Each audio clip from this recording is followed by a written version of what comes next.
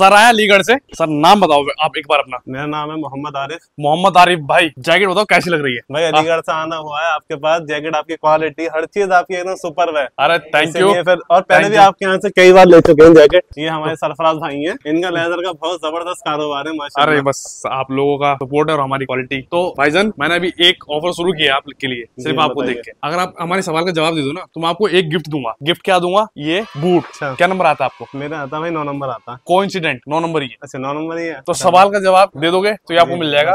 सवाल सिंपल है बहुत ही सिंपल है। बैंक को हिंदी में क्या कहते इसे सिंपल कह रहे यार।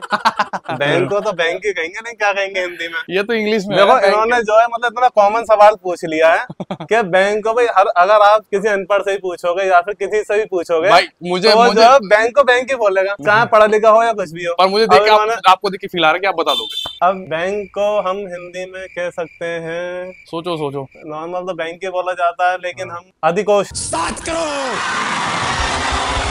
तो बैंक को हिंदी में अधिकोष कहते हैं। ये तो आप खेल गए। ये आप खेल गए। बताइए सवाल सही जवाब सही है इसका? मुबारक हो। थैंक यू थैंक यू एक बार और। सर ये हुआ आपका। Thank you sir thank you jacket के साथ फ्री है ये? ये फ्री है आपको। चलो बहुत शुक्रिया। फिर तो मैं हर महीने आऊँगा लेने। सवाल और कठिन करेंगे अगली बार आपसे। चलो चलो कोई बात नहीं करो करो।